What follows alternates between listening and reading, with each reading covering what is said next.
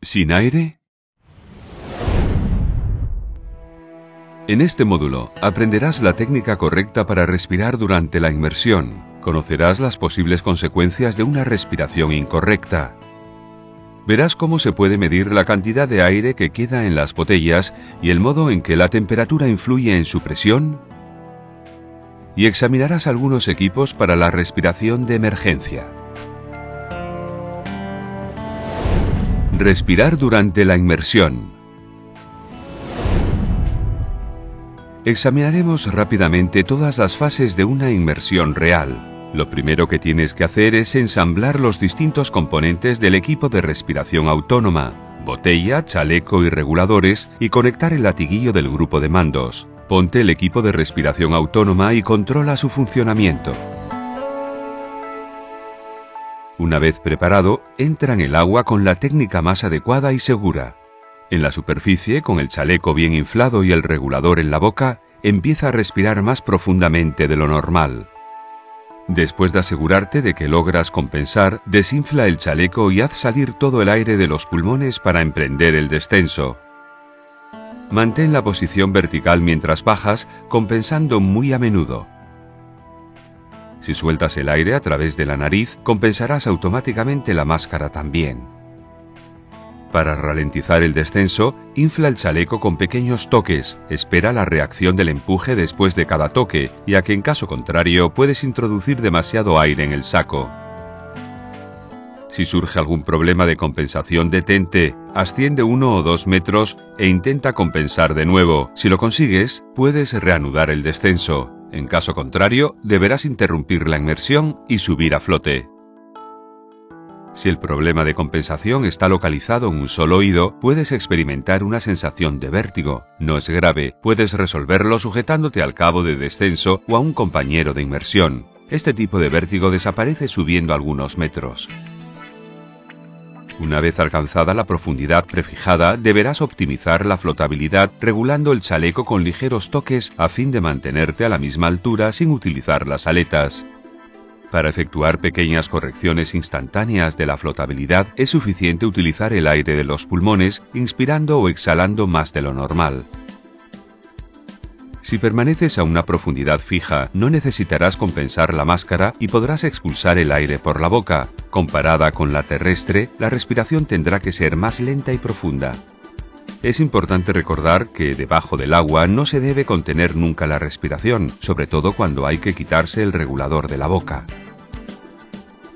Para subir basta dar un pequeño golpe de aleta hacia la superficie, la condición de flotabilidad se hace positiva y empuja lentamente hacia la superficie. Al disminuir la presión, el chaleco se infla cada vez más y la velocidad aumenta. Para reducirla, solo debes desinflar con pequeños toques el saco, intentando mantener una velocidad controlada. Recuerda que debes seguir respirando continuamente y profundamente. Durante el ascenso puedes sentir que se te ha quedado un poco de aire atrapado a presión en un oído. Este fenómeno no se produce a menudo y para resolverlo basta detenerse o descender uno o dos metros y esperar hasta que la presión abra la trompa de Eustaquio. En caso de sentir también vértigo, sujétate al cabo de ascenso hasta superar esta molestia transitoria.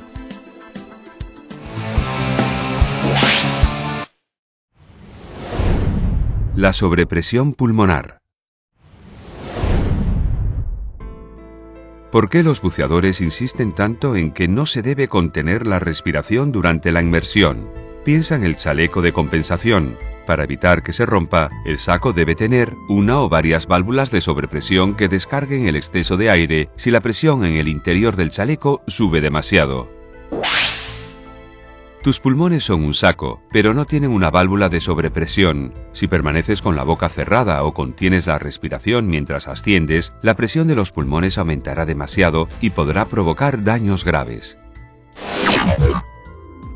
Los pulmones están formados por una película de tejido finísima que genera muchos saquitos minúsculos llamados alvéolos pulmonares.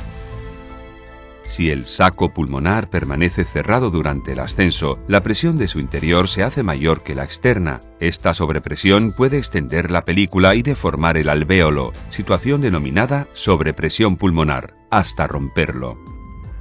En este caso, el aire de los pulmones puede migrar hacia distintas zonas del cuerpo, en función del tipo de rotura que se ha verificado puede producir un neumotórax, o sea, el colapso de un pulmón que se desinfla y queda temporáneamente inutilizable, o la detención del aire alrededor del corazón, provocando un efisema mediastínico, con fuertes dolores y alteración del latido cardíaco. También puede desplazarse hasta debajo de la piel de los hombros y del cuerpo y causar un enfisema subcutáneo.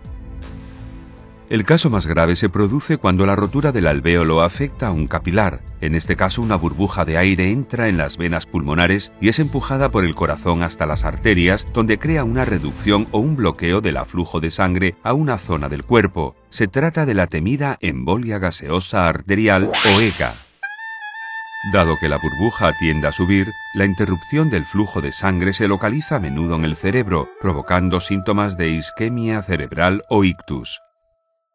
Evitar estas graves lesiones es fácil, basta no contener la respiración durante el ascenso y mantener el regulador entre los labios o exhalar continuamente si debemos quitárnoslo de la boca.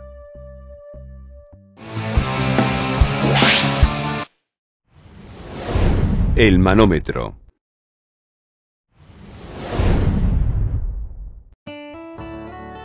Durante la inmersión es importante poder calcular cuánto durará la reserva de aire, para hacerlo se utiliza un instrumento que desempeña la misma función que el indicador del nivel de combustible en el automóvil, el manómetro.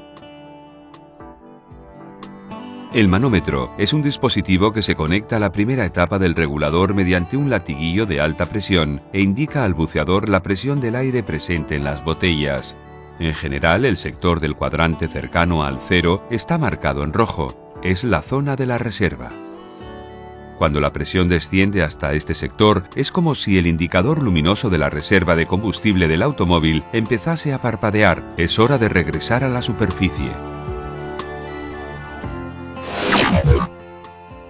Para evitar la salida violenta del aire en caso de romperse el latiguillo o el instrumento, la conexión está dotada de un orificio muy pequeño que permite el paso del aire.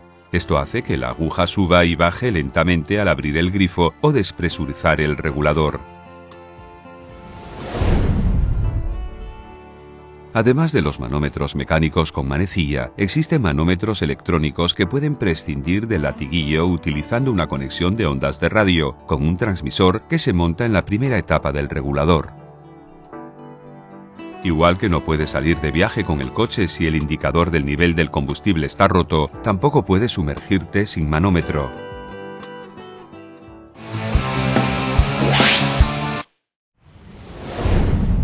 La presión y la temperatura. Antes de poder utilizar el manómetro para calcular la autonomía restante de aire, debes saber una cosa importante. La presión está sujeta a la influencia de la temperatura. En concreto, la presión y la temperatura son directamente proporcionales. Si una aumenta, la otra aumenta también. Durante la recarga la botella se calienta mientras que al enfriarse después su presión disminuye. Se trata de un fenómeno normal. Por otro lado, si dejas las botellas al sol o en un lugar con mucho calor durante algún tiempo, su temperatura aumentará y el manómetro señalará un valor de presión superior. Nada más sumergir las botellas en el agua, éstas se enfrían y su presión disminuye. Por ejemplo, si una botella que se encuentra a 200 bar a 45 grados centígrados se sumerge en agua a 15 grados centígrados, una vez estabilizada la temperatura, su presión descenderá hasta 180 bar. Para calcular la autonomía deberás tener en cuenta este fenómeno. No te fíes de las medidas de presión efectuadas en botellas que acaban de ser recargadas o que han estado mucho tiempo al sol.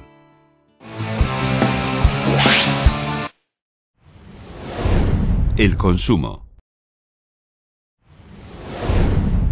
Ahora puedes aprender a calcular el consumo de aire. Sin duda recordarás que la presión aumenta al aumentar la profundidad. Bajo la influencia de este incremento, el volumen del aire disminuye y su densidad aumenta, es decir, sus moléculas se acercan entre sí. En aguas profundas el regulador proporciona aire a la presión del ambiente, que es mayor que la de la superficie. Con cada movimiento respiratorio inspirarás más moléculas de las que inspirarías en la superficie, o sea, consumirás más aire. En definitiva, a mayor que sea la profundidad, menos durará el aire de la botella. Existe un método simple e inmediato para establecer cuánto aire consumimos al minuto a una cierta profundidad. Imagina que te encuentras a 20 metros y lees en el manómetro que la presión de las botellas es de 160 bar. Si vuelves a leer la presión después de haber permanecido 10 minutos a la misma altura, verás que habrá descendido, por ejemplo, a 120 bar. Esto significa que en 10 minutos y a esa profundidad has consumido 40 bar de aire, o sea que tu consumo es de 4 bar por minuto.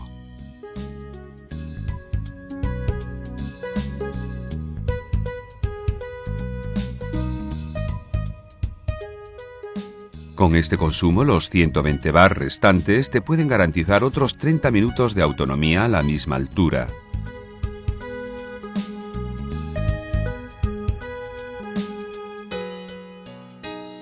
Pero si asciendes a una profundidad inferior, donde consumes menos, tu autonomía aumentará. Es conveniente saber calcular la autonomía también en este caso. Un sistema cómodo para hacerlo consiste en utilizar un valor único de referencia, tu consumo equivalente en superficie. Para determinar este dato personal basta dividir el consumo, calculado durante la inmersión, entre la presión absoluta existente a la profundidad en la que te encontrabas. En el ejemplo anterior, los 4 bar por minuto habían sido calculados a 20 metros, es decir, a una presión de 3 atmósferas. Este consumo equivale a un consumo en la superficie de 1,33 bar por minuto.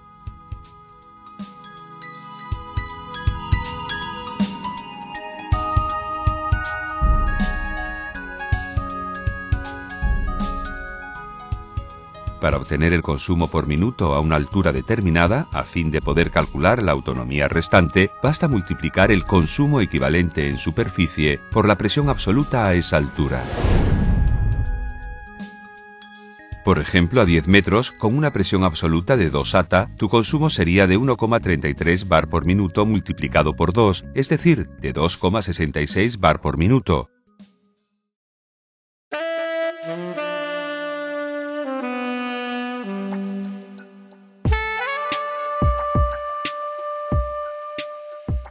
Los 120 bar de aire a 10 metros te pueden durar 45 minutos.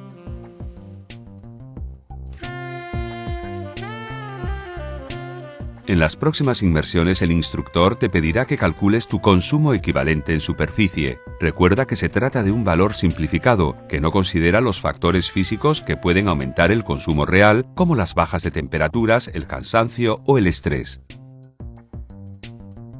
Obviamente, entre la botella cargada y la botella vacía hay una gran diferencia. Todo el aire que estaba dentro ha salido al exterior.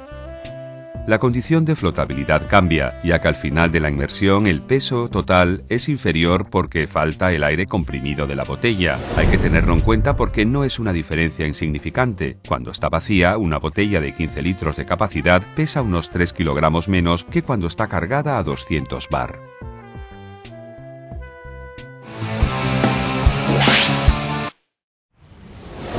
Equipos autónomos de emergencia.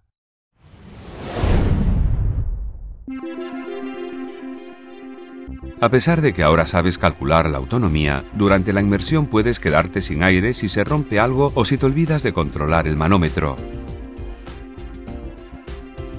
¿Qué debes hacer en este caso? El instructor te enseñará varios métodos para resolver el problema. En primer lugar, debes saber que todos los buceadores disponen de una segunda etapa de regulador auxiliar que sirve para compartir el aire con un compañero de inmersión en caso de necesidad.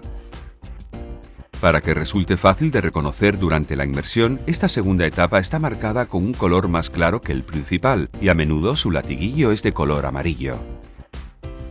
La segunda etapa auxiliar debe estar bien accesible y ser fácil de utilizar por un compañero que esté en una situación difícil. Por eso debe llevar un sistema de desenganche de tirón bien visible sobre el pecho del buceador. En caso de necesidad, un buceador puede pasar esta segunda etapa a un compañero que necesita aire para respirar sin esperar a que la coja personalmente. La segunda etapa auxiliar puede estar conectada a la primera etapa del regulador principal en una configuración llamada sistema pulpo. O bien puede tener una primera etapa propia montada en una segunda grifería,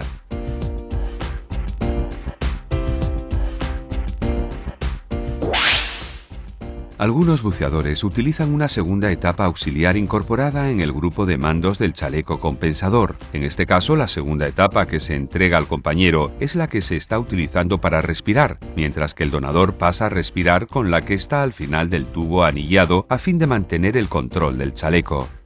La funcionalidad de los sistemas que hemos visto hasta ahora está supeditada a la presencia de un compañero, por eso algunos buceadores prefieren utilizar una pequeña botella separada, la botella Pony o Pony Tank, dotada de su propio regulador. Esta solución representa el sistema más seguro y el único que logra independizar al buceador de su compañero.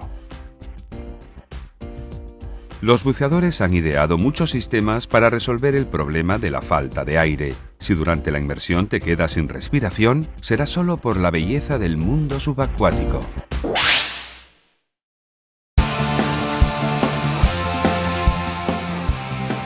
En el próximo módulo comprenderás cómo se comporta el sonido en el agua, aprenderás a comunicarte durante la inmersión, profundizarás en algunas técnicas del sistema de pareja y examinarás algunos instrumentos y accesorios útiles para la inmersión.